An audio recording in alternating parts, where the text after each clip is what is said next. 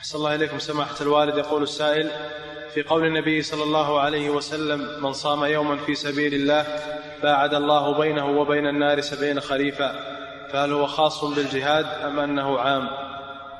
لا الظاهر أنه في الجهاد في سبيل الله لأنه يجمع بين الجهاد والصيام.